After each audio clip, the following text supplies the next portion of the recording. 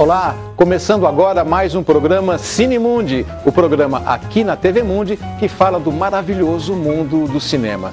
E falando em cinema, você já parou para pensar na segurança dos atores quando eles fazem um perigoso filme de ação? E no trabalho dos profissionais que pensam em cada um dos detalhes dos chamados objetos de cena. Você já prestou atenção nisso?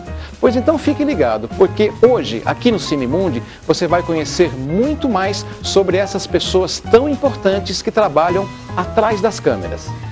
E mais, os 100 anos da Universal Pictures e uma matéria especial sobre os 50 anos da saga James Bond. Tudo isso já já depois do intervalo.